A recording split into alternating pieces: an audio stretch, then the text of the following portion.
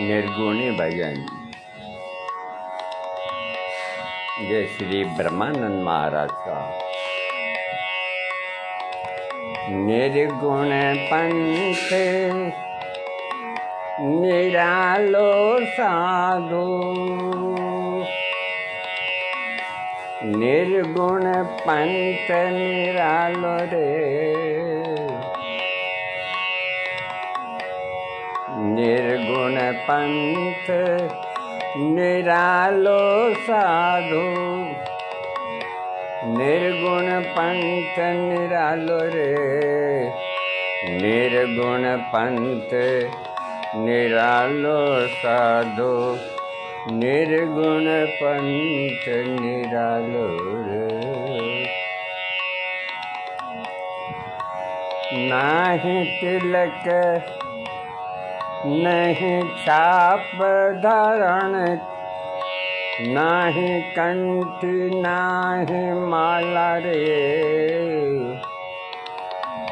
निर्गुण पंथ के अंदर जाने पर न तिलक की ज़रूरत है, न छाप की ज़रूरत है, न कंठी की ज़रूरत है। न तिलक नाम छाप दरन नहीं कंठी नहीं माला रे। निस दिन ध्यान लगे हृदय में। निस दिन ध्यान लगे हृदय में। प्रगट ज्योत उजियाला रे। निर्गुण पंथ निराला साधु।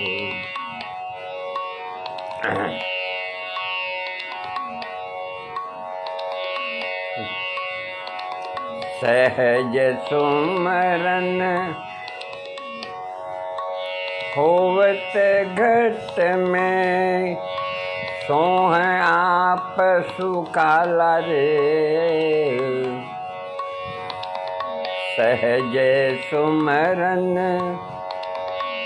होवत घट में सोह जाप सुख रे नहीं मूरत, नहीं है कछु सूरत रूप न रंगत वाला रे।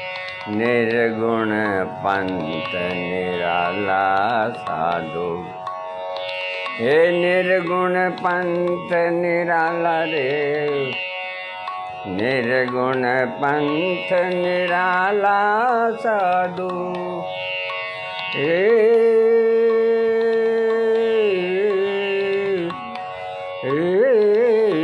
निर्गुण पंथ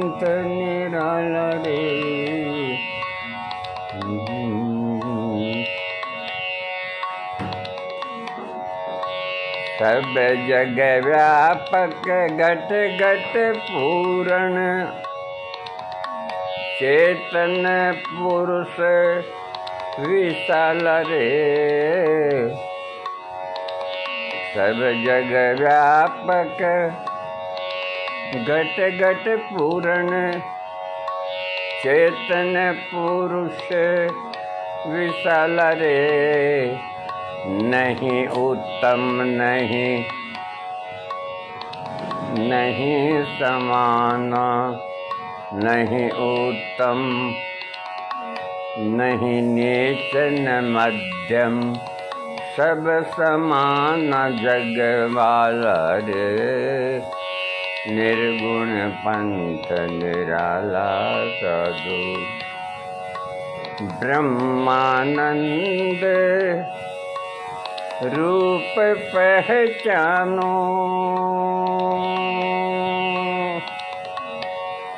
ब्रह्मानंद रूप पहचानो।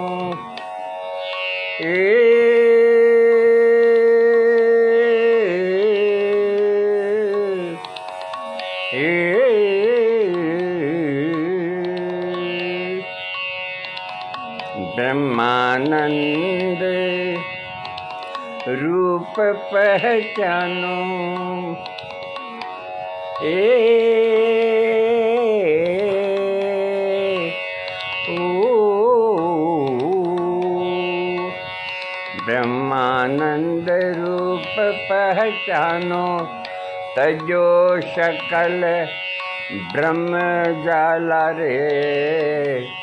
निर्गुण पंथ, निराला साधो। निर्गुण पंथ, निराला रे। निर्गुण पंथ, निराला साधो। हे निर्गुण पंथ, निराला साधु। हे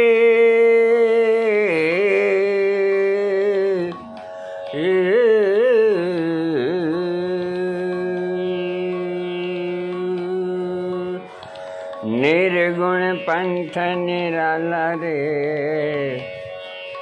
निर्गुण पंथ निराला साधु। निर्गुण पंथ निरलर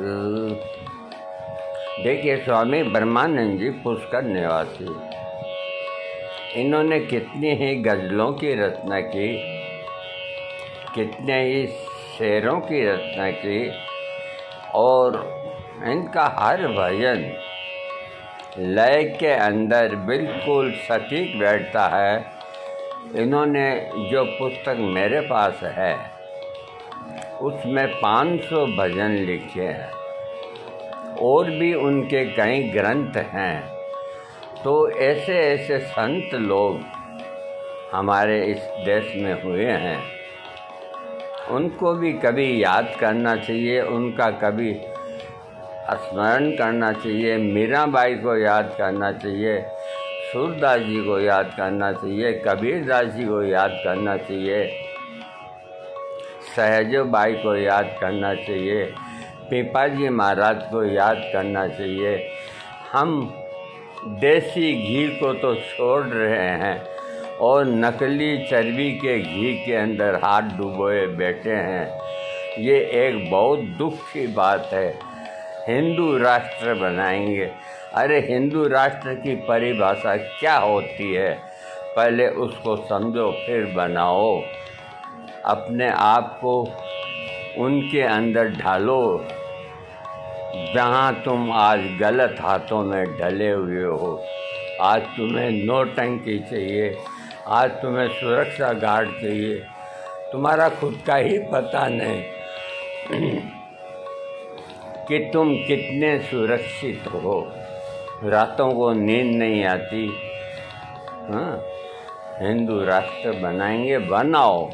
भारत हिंदू राष्ट्र है और रहेगा, लेकिन उसका थोड़ा तरीका सही करो। अपने माँ बाप अगर बूढ़े हो जाते हैं तो उनको घर से प्रताड़ना नहीं करते। उनकी सेवा की जाती है, जहाँ अपने बूढ़े माँ बाप को एक गठड़ी के अंदर उनके कपड़े डाल के ऑटो में बिठा के और वर्दा आश्रम में छोड़ के आते हैं। और आने के बाद ऐसी के अंदर मियाँ बीबी ऐसे लेटते हैं कि जैसे कोई उनके सिर से नौ मन का बोझ उतर गया। तो ये लोग हिंदू धर्म बनाएँगे, हिंदू राष्ट्र बनाएँगे, इनसे उम्मीद करते हो।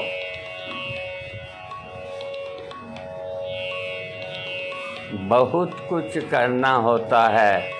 बातों हैं, बातें हैं, बातों का क्या? कसम वादे प्यार वफा। बातें हैं बातों का क्या कोई किसी का नहीं है जग में। नाते हैं नातों का क्या? कसम वादे, प्यार वफा, बातें हैं। बातों का क्या? रामलीला मैदान के अंदर बाबा रामदेव। जनाना कपड़ा ओढ़ के अपनी जान बचा के पिछली गली से भागे। अन्ना हजारी का एक मंदिर में जाके डूब गया। जान सबको प्यारी है। जब ऊपर से लट पड़ते हैं ना तो सब कुछ भूल जाते हैं कि हमें क्या करना है। अपने को सबल बनाओ। अपने को मज़बूत बनाओ और जो अच्छी चीज़ें हैं, उनको अपनाओ। अरे, ये राष्ट्र बनेगा, वो बनेगा, इससे क्या फ़र्क पड़ता? है मनुष्य तो सब एक ही रहेंगे। वो तो नहीं बदलेंगे। राम राम ही रहेगा, रहीम रहीम ही रहेगा, वो नहीं बदलेंगे। तो फिर तुम क्या बदल रहे हो? कुछ समझ में नहीं आता कि ये जो दो चार संत इस मुहिम में लगे हुए हैं, मुहिम कैसी भी क्यों न हो, जो जायज़ है उसे जायज़ कहेंगे, जो नाजायज़ है उसे नाजायज़ कहेंगे। हम हनुमान भक्त हैं। हनुमान जी ने अपने हनुमान चालीसे में कहीं नहीं कहा कि तुम्हें ऐसा करना चाहिए। रामचरित मानस में भी ऐसा करना चाहिए। बल्कि भगवान राम ने सबरी को नो भक्ति सिखाई उसके झूठे बैर खाए। भगवान राम ने केवट के हाथ जोड़ के नैया पार करी। ऐसे उदाहरण रखो महाराज। हाँ।